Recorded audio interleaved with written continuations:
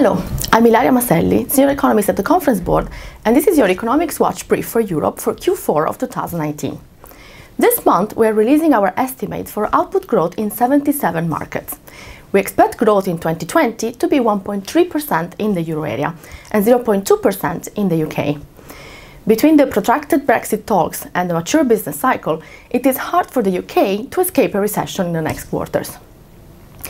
GDP growth of 1.3% in 2020 in the euro area means that we expect the economy to continue at about the same pace as this year.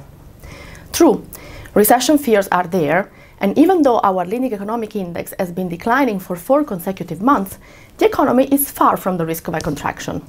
So far, the leading indicators are just signaling a slowdown in growth. Consumer confidence is still high thanks to continuing job creation and a stronger purchasing power, resulting from wage growth and a very weak inflation.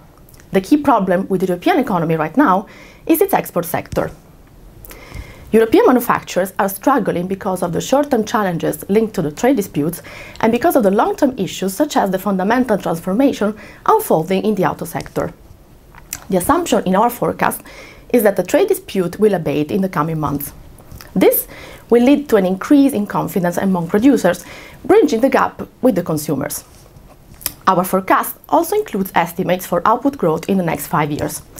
We expect the euro area to grow on average at 1.4% per year between now and 2024, and the UK at an average of 1.2%. This is about half of the output growth estimate for the global economy.